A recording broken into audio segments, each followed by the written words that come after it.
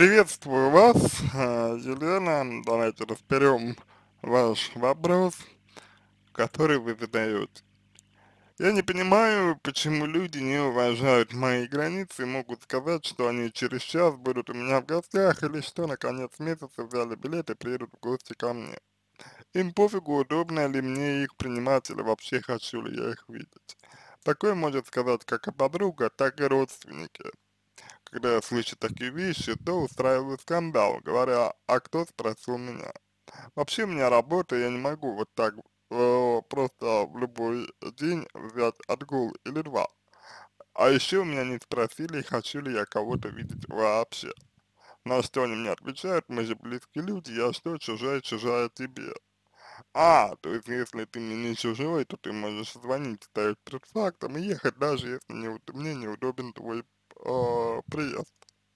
Что за неуважение ко мне? Скандалы не помогают, проходит три месяца, люди э, опять ставят меня перед фактом, что через пару часов буду у тебя. Как с ними бороться? Э, Елена, я думаю, что вы сами э, понимаете, что глобально э, ваша ситуация выглядит несколько, ну, так скажем, странновато. А, в том смысле, что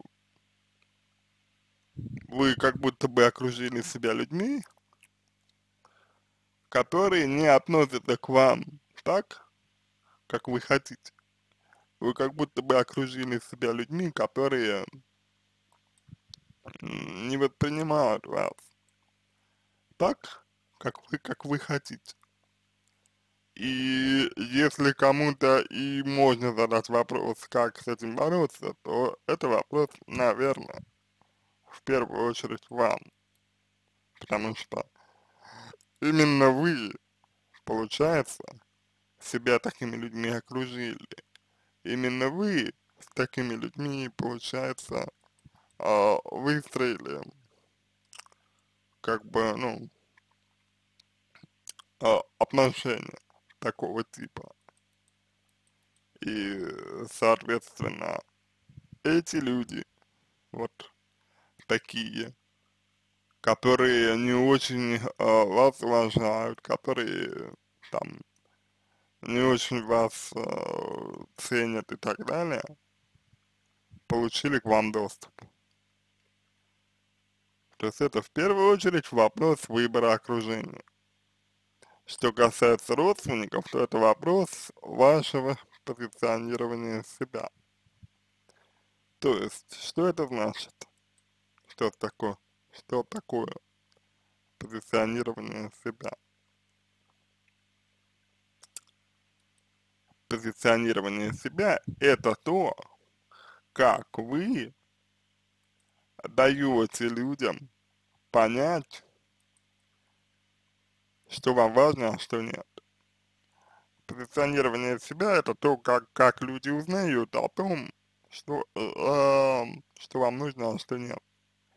То есть, иными словами, это больше вопрос к вам.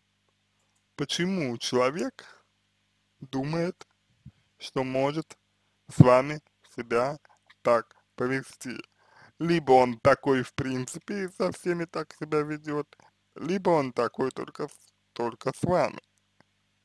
И вот это очень важно э, увидеть, и, увидеть и постараться заметить. Почему так получается? Как так получается? Да?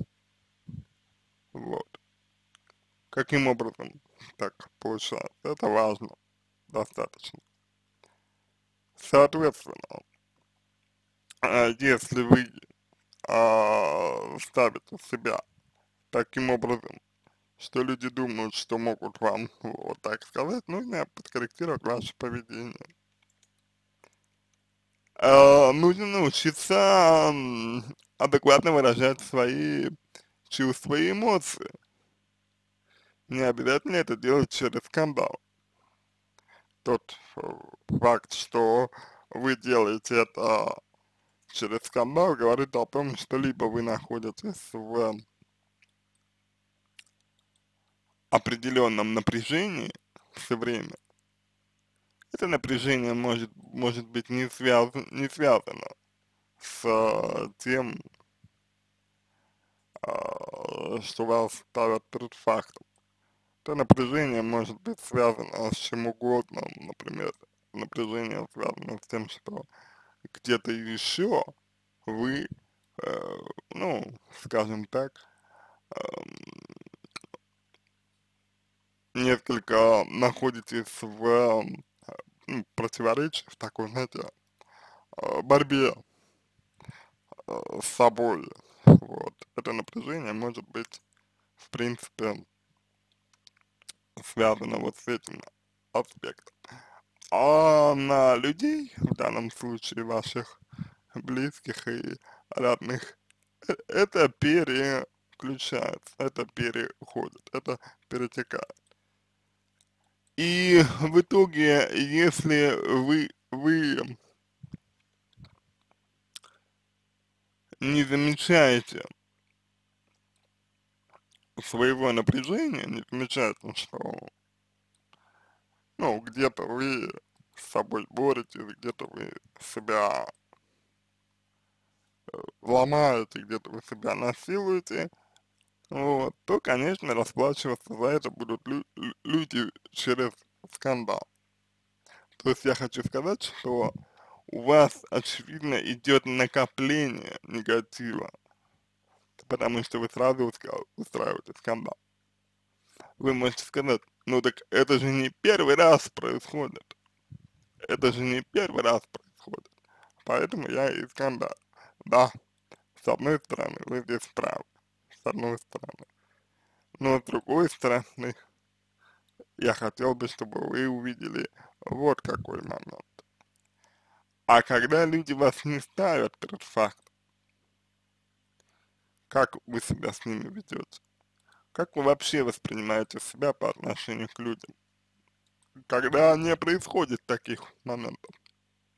Мне, например, показалось, э, ну вот как бы, исходя из вашего э, текста, да, мне показалось, что вы позиционируете себя как бы ниже других людей. Вот другие такие злые, да, как сказал мой коллега, а вы вот, э, значит, находитесь в роли здесь э, жертвы, да, вот, человек, который, которого постоянно вот а, ну, а, человека, которого постоянно как-то обделяют чем-то. Мне кажется, что на это вам тоже нужно обратить внимание. И мне кажется, что об этом вам тоже имеет смысл эм, как бы поговорить э, с психологом и поработать э, над, над этой проблематикой, потому что это важный момент, важная история. Если вы изначально чувствуете себя ниже, чем другие люди, то, конечно же, э, это будет проявляться в том, что им будет казаться, что с вами можно не считаться. Вот. То есть почему-то здесь вы обращаете внимание больше на людей, на то, как они себя ведут, но не на то, какой вклад вы э, вносите в то, что происходит. Вполне вероятно, что вы привыкли не замечать таких вещей. Вполне вероятно, что вам необходимо, нужно устраивать скандал для того, чтобы таким образом отсюда заявлять. То есть любое системное поведение имеет так называемую вторичную выгоду даже если оно не нравится, даже если оно, ну, объективно, скажем, не очень хорошее. Все равно вот в данном случае, в данном, а, в данном эм, конкретном случае, да, можно вот э, как бы сказать, вот, э, что вы устраиваете скандал, вот. Ну, или вы можете, можете устраивать скандал, да, потому что что-то с этого получаете для себя. Например, э, в других, более э, спокойных ситуациях вы, а, допустим, никак себя не проявляете, но вот через скандал можете это компенсировать. На этом все. Надеюсь, что помог вам. Буду благодарен за обратную связь по моему ответу. Это позволит вам начать работу над собой. Желаю вам всего самого доброго и удачи.